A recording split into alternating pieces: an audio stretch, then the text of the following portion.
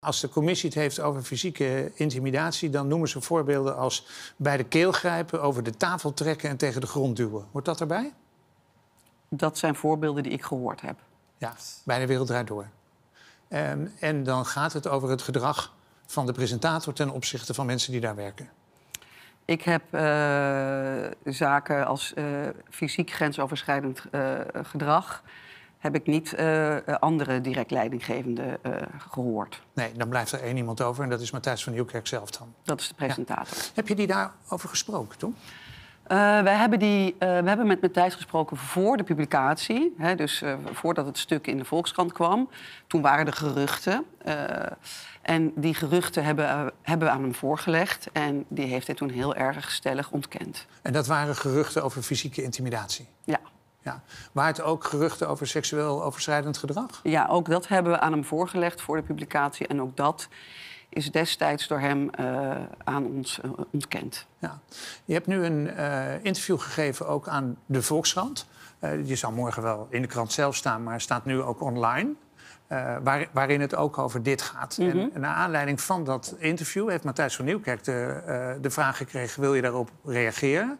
Dat heeft hij net gedaan. Dat werd net tijdens het programma binnengedragen. Dus dat lees ik even. Ik wilde het jou laten zien, maar je zegt: ik heb geen bril op. Dus nee, kan niet lezen.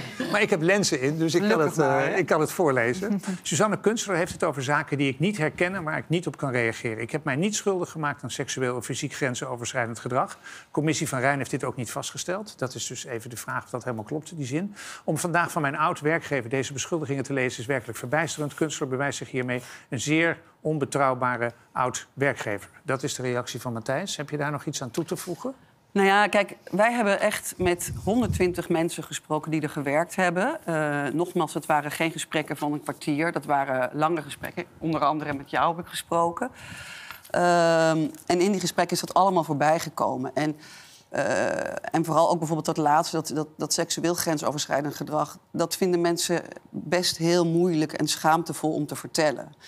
En uh, als mensen dat vertellen en als ze dat eenmaal uh, ook aan je openbaren... dan vind ik ook dat, uh, dat je dat heel serieus moet nemen. En dat hebben we ook gedaan. Ja, in het rapport staat er over mannelijke collega's... in ongelijke machtsverhoudingen met vrouwelijke collega's naar bed gingen. Dat werd als normaal bestempeld. En bovendien waren vrouwen die na het vertrekken... of na het verbreken van een seksuele relatie met een hoger geplaatste... niet langer welkom waren op de redactie. Ja. Is dat ook wat je meegemaakt hebt? Dat is iets wat ik niet zelf gehoord heb aan onze tafel, dus dat kan ik niet bevestigen. Uh, maar dat heeft kennelijk uh, een collega of meerdere collega's uh, verteld aan de commissie. Ja, maar goed, de Volkskrant schrijft daar in zekere zin wel over. Want die schrijft over een voorbeeld waarbij BNVARA een vrouw 20.000 euro heeft betaald. Ja. Bij, bij, bij haar vertrek.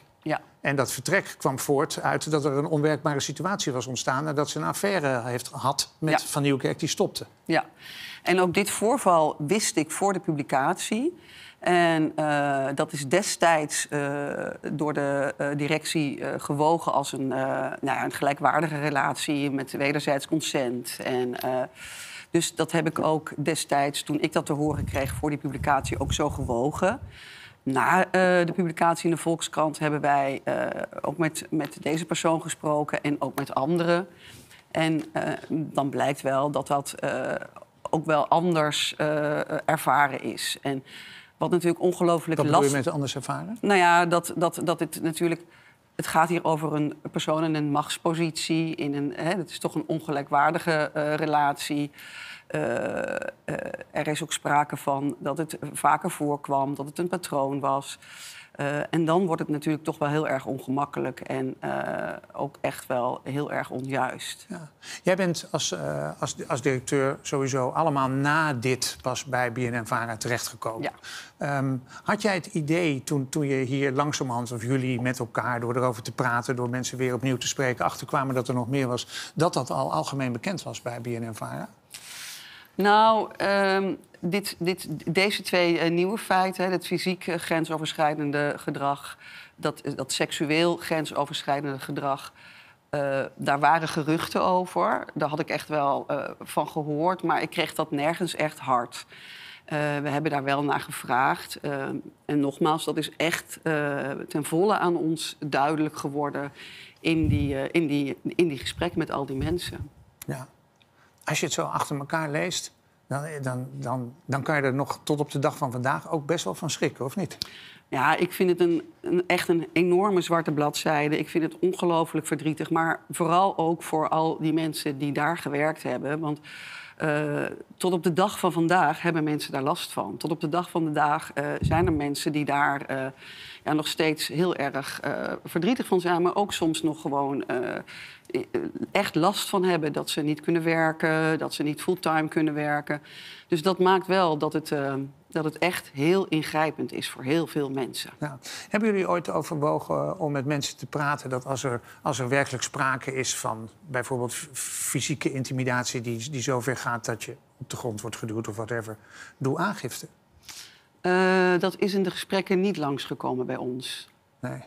En dat was natuurlijk ook omdat het, uh, toen wij erover spraken, dingen al echt lang afgerond waren. Ja. En soms hebben mensen ook geen zin dat het maar blijft hangen misschien ook. Nou ja, wat wij ervaren in die, of hebben ervaren in die gesprekken die we hebben gevoerd... en nou, misschien kan Mariette dat, uh, dat erken, uh, bevestigen... dat mensen het heel erg fijn vonden om het te vertellen... dat het gezien werd, dat het eindelijk erkend werd... Mensen vertelden ook, waar heb ik in al die jaren ingezeten. Ik, ik, uh, ik, ik zie nu pas wat er eigenlijk mis was. Ehm, wij merkten bij, bij een groot aantal mensen die wij spraken ook wel een ja, een gevoel van opluchting is misschien een, een, gek woord, maar ook wel een gevoel van ik ben zo blij dat ik erover kan praten en dat, dat, dat, het, dat het eindelijk ook naar buiten kan. Ja. En dat ik niet de enige was die dit gevoeld heeft, maar dat het gewoon algemeen daar zo was. En dat, daar hecht ik ook nog wel aan dat dit grensoverschrijdende gedrag uh, genormaliseerd is in die periode en zo lang heeft kunnen voortbestaan, is echt heel erg fout. En uh, nou ja, ik maak me nu echt dagelijks hard. Het ligt bovenaan op de stapel bij ons. Dat dergelijk gedrag niet meer voorkomt.